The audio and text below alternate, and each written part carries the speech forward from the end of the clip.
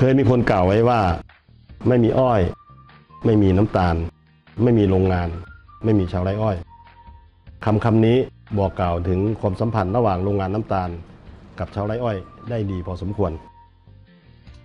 สายงานด้านวัตถุดิบบริษัทน้ำตาลไทยอุดรธานี มีชื่อที่ผู้คนรู้จักคุ้นเคยทั่วไปก็คือฝ่ายไร่ เป็นหน่วยงานหนึ่งของบริษัทน้ำตาลไทยอุดรธานี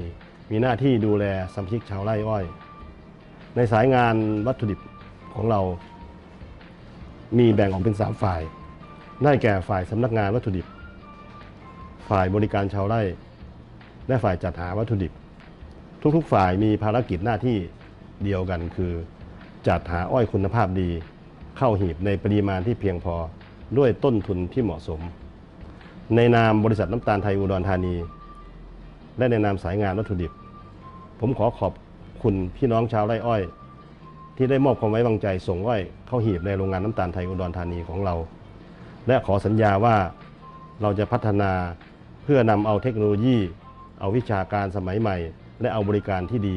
มาสู่มอบให้แก่พี่น้องชาวไร่อ้อยของเราอย่างไม่หยุดยัง้ง